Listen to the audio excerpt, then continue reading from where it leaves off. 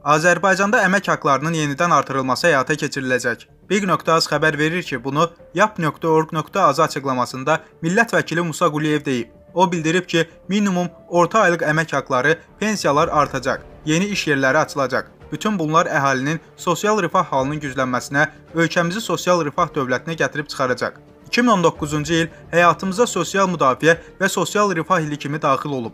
2019-cu ilin ilk 2 ayında sosial sahədə atılan addımlar heç də təsadüfi, hər hansı impulsiv qərar deyil. Bu addımlar planlı, Azərbaycan dövlətinin sosial-iqtisadi inkişafına uyğun, dövlət büdcəsinin imkanlarına, hazırlanan proqramlara uyğun həyata keçirilir. Son imzalanan sərəncamlar da 1 və ya 2 ayın işi deyil. Onların üzərində aylardır ki, iş gedib. Prezident də bəyan etdi ki, 2019-cu il əhalinin sosial müdafiəsi sahəsində xüsusi bir il olacaq. Yəni 2017-ci il iqtisadiyyatımızın sabitləşməsi, 2018-ci il iqtisadi inkişaf, 2019-cu il isə sosial inkişaf və rifah ili kimi xalqımızın tarixinə düşəcək.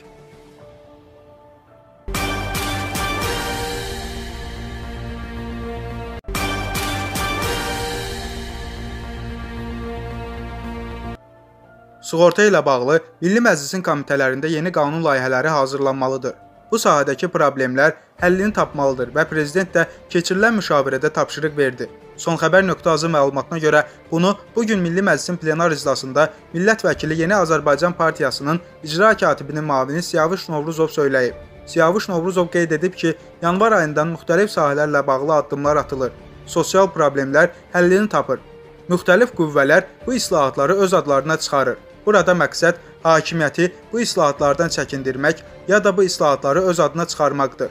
Adi bir zəlzələ zamanı insanların dərdinə şərik çıxmaq əvəzinə deyirlər ki, filan vaxt mitinq edəcəyik. Bir məqamı da qeyd edim. Hazırda uşaq pulu ilə bağlı qanunvericilik hazırlanır.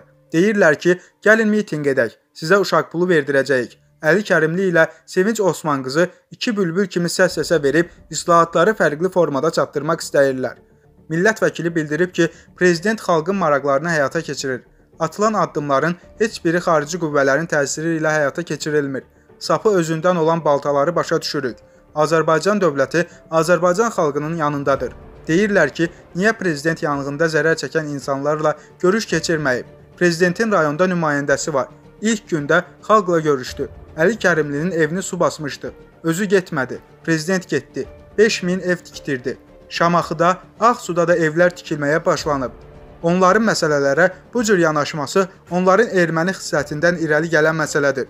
Biz bu islahatları, atılan addımları cəmiyyətə düzgün çatdırmalıyıq deyə Siyavuş Novruzov qeyd edib.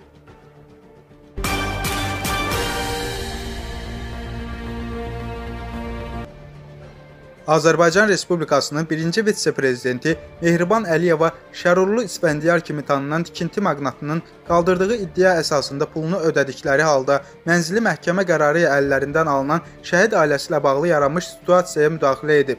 Son xəbər.az virtualaz.org-a istinadla xəbər verir ki, Mehriban Əliyevanın göstərişi ilə aprel döyüşlərində şəhid olmuş polkovnik leytenant Sənan Axundovun ailəsinə yeni mənzil verilib.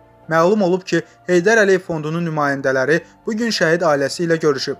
Sənan Axundovun ailəsinə bildiriblər ki, Mehriban Əliyevanın tapşırığı əsasında onların problemi həll olunur və Bakının Nərmanov rayonunda ailəyə yeni mənzil verilir. Xatırladaq ki, şəhidin hələ sağlığında hissə-hissə 53 min manat ödəyərək aldığı 50 kvadrat metrlik mənzil Şərurlu İsfəndiyarın iddiası əsasında məhkəmə qərarı ilə alınıb. Bu məsələ geniş ictimai rezonans və oliqarxa qarşı haqlı hiddət yaradıb.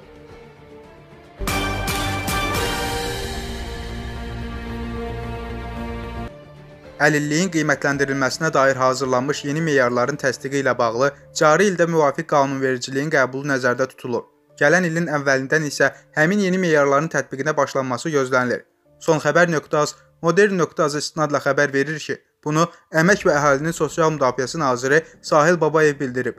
Nazir əlilliyin qiymətləndirilməsinə dair yeni meyarların Ümumdünya Səhiyyə Təşkilatı və Avropa ölkələrinin standartları əsasında hazırlandığını deyib. O qeyd edib ki, bununla əlaqədar xəstəliklərin insan orqanizminin funksiyalarında, özünə qulluq və fəaliyyət qabiliyyətində hansı dərəcədə məhdudiyyətlər yaratması ilə bağlı Əmək və Əhalinin Sosial Müdafiəsi Nazirliyi və Səhiyyə Nazirliyinin işçi qrupları tərəfindən geniş araşdırmalar aparılıb. Sahil Babayev yeni meyarların tətbiqinə keçidlə əlaqədar müvafiq həkim və ekspertlər üçün təlim və treninqlərin keçiriləcəyini də diqqətə çatdırıb. Əlilliyin qiymətləndirilməsi ilə bağlı yeni meyarların hazırlanması və tətbiqi əlilliyi olan şəxslərin cəmiyyətə inteqrasiya və əmək fəaliyyətinə davam etmək imkanlarının artırılmasına xidmət edir. Yeni meyarlar əlilliyin orqanizmin öz funksiyalarını itirməsinin, fəaliyyət qabiliyyətinin məhdudlaşdırılmasının faiz qiymətləndirilməsi əsasında təyin olunması nəzərdə tutulur.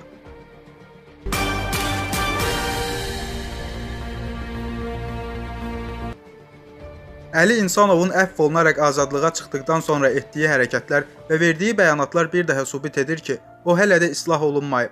Bunu açıqlamasında yapçı deputat Aydın Hüseynov deyib. Onun sözlərinə görə Azərbaycan prezidenti əfv sərəncamı ilə hətta zamanında cinayət əməli törətmiş şəxsi əfv etməklə hər bir Azərbaycanlının prezident olduğunu nümayiş etdirdi.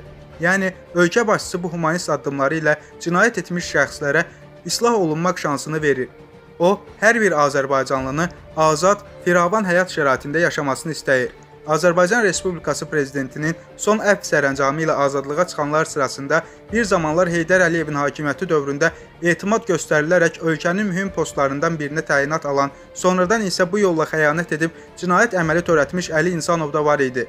Cəmiyyət Əli İnsanovdan bu ahıl yaşında səhvlərini etiraf edəcək və ölkə başçısının bu humanist addımlarına görə ona minnətdarlıq ediləcəyini gözləyirdi. Təəssüflər olsun ki, cəmiyyət bunun əksinin şahidi oldu. Əli İnsanovun azadlığa çıxar-çıxmaz iddialı siyasi bəyanatlarla çıxış etməsinin şahidi olduq. O, bu müddət ərzində Azərbaycanın keçdiyi inkişaf yoluna, tərəqqiyə görə ölkə başçısına minnətdarlıq etmək əvəzinə ölkədə böyük zəhmətlər bahasına yaradılan sabitliyin pozulmasına yönəlik bəyanatlar səsləndirdi. Bu hərəkətləri sübut etdi ki, Əli İnsanov hələ də islah olunmayıb. Bununla belə deputat hesab edir ki, Əli İnsanov islah olunmaq üçün hələ də şanslarını itirməyib. Onun səhvlərini etiraf edib islah olunması üçün gec deyil. Nə qədər gec deyil Əli İnsanov tutduğu səhv yoldan geri dönüb islah oluna bilər. Deputat eyni zamanda bir zamanlar YAP sədrinin müavini olmuş, sabiq Əmək və Əhalinin Sosial Müdafiə naziri, Azərbaycanın Belarusdakı eks səfiri Əli Nağıyevin də son günlərdə Əli İnsanovu dəstəkləməsi və Yeni Azərbaycan Partiyası ölkə başçısı ətrafında olan insanlar haqqında təhqiramiz ifadələr işlətməsindən təəssüfləndiyini dilə gətirib. Bu gün kimsə Əli Nağıyevin Yeni Azərbaycan Partiyası təşkilatlanmasındakı rolunu danmır. Elə Ulu Öndər Heydər Əliyev də onun bu əməyinə dəyər verib, etimad göstərərək yüksək vəzifələrə təyin etdi.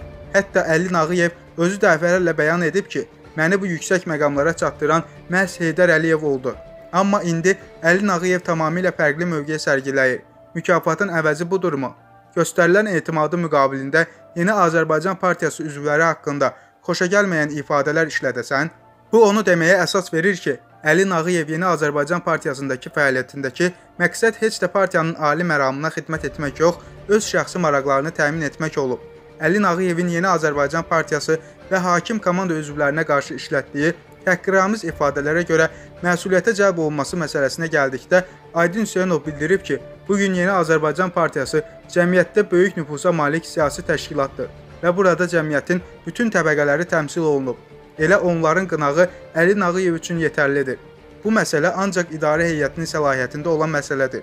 700 min Yeni Azərbaycan Partiyası üzvü haqqında səsləndirdiyi fikir sadəcə partiyada qəzəb hissi doğurur və bu hərəkətinə görə onu qınayırıq deyə Aydın Hüseynov bildirib.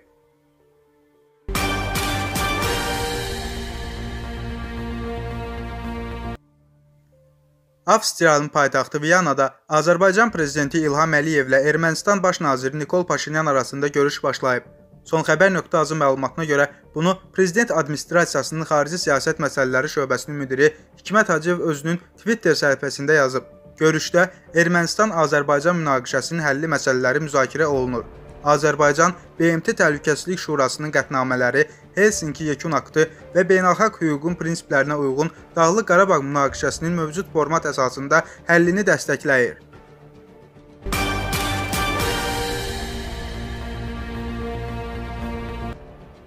Hesablama Palatasının üzvlərinə 1 aylıq vəzifə maaşı həcmində vəzifə maaşına əlavə ödəniləcək. Son xəbər.az məlumatına görə bu, bu gün Milli Məclisin plenar iclasında müzakirə edilən və qəbul edilən Hesablama Palatası haqqında qanuna dəyişiklikdə əksini tapıb. Hesablama Palatası sədrinin aylıq vəzifə maaşı və digər təminatları Milli Məclis sədrinin birinci müavininin aylıq vəzifə maaşına və təminatlarına bərabərdir. Hesablama Palatası sədrinin müavinin aylıq vəzifə maaşı və digər təminatları Milli Məclis sədrinin müavininin aylıq vəzifə maaşına və təminatlarına bərabərdir. Hesablama Palatasının auditorlarının aylıq vəzifə maaşı və digər təminatları Azərbaycan Respublikası Milli Məclisinin komitə sədrlərinin aylıq vəzifə maaşlarına və təminatlarına bərabərdir. Layihə səsverməyə çıxarılıb və qəbul edilib.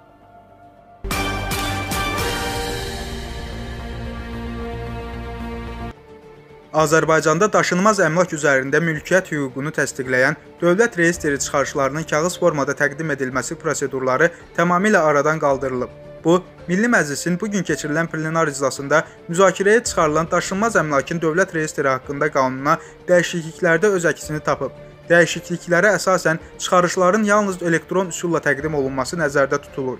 Yəni təkliflərdə qeyd edilir ki, daşınmaz əmlaka mülkiyyət və digər əşya hüquqlarının əmələ gəlməsi və başqasına keçməsi müvafiq icra hakimiyyəti orqanları tərəfindən hazırlanan sənədlər əsasında qeydiyyat orqanının elektron üsulla təqdim etdiyi dövlət reyestrindən çıxarışla rəsmiləşdirilir. Çıxarış hüquq sahibinin istəyindən asılı olaraq elektron imza ilə təsdiqlənməklə elektron hökumət portalında yerləşdirilir, yaxud digər elektron üsulla hüquq sahibinə göndərilir qanun layihəsinə dəyişikliklər müzakirələrdən sonra səsə qoyularaq qəbul edilib.